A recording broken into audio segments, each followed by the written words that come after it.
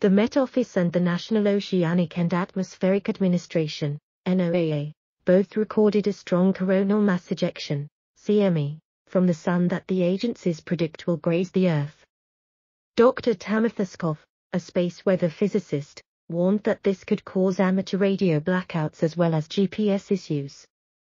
She wrote on Twitter, Our sun sends a Thanksgiving holiday gift. NOAA and the Met Office predict a solar storm launched yesterday will graze Earth to the south late November 27. Likely not a big storm but a sporadic aurora is possible at mid-latitudes. Expect radio and GPS issues on Earth's night side. NOAA confirmed that satellite systems may experience significant charging resulting in increased risk to satellite systems. And spaceweather.com warned, first look data suggest it might deliver a glancing blow to Earth's magnetic field. The warnings came after a filament of magma burst out of a canyon 50,000 miles long with towering walls of red-hot plasma on the Sun on Wednesday. Debris from the blast formed a coronal mass ejection, CME, a large expulsion of plasma and magnetic field from the Sun's outer layer that can bring with it a geomagnetic storm.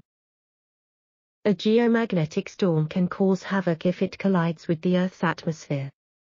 Astronomers at spaceweather.com explained, a geomagnetic storm is a major disturbance of Earth's magnetosphere that occurs when there is a very efficient exchange of energy from the solar wind into the space environment surrounding Earth.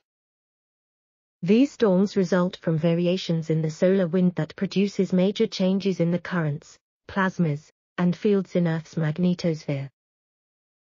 The bursts can send a stream of electrical charges and magnetic fields as far away as Earth, traveling as fast as 3 million miles per hour. CMEs tend to produce the strongest type of geomagnetic storm. Ranked from G1 minor to G5 extreme, even the lowest intensity G1 storm, which is what we may experience tomorrow, can cause major disruption if it comes into contact with a satellite. When this happens, it can cause disturbance to satellite operations and could result in weak power grid fluctuations. But these geomagnetic storms can also put spectacular auroras on display for lucky spectators who don't often get to spot these phenomena.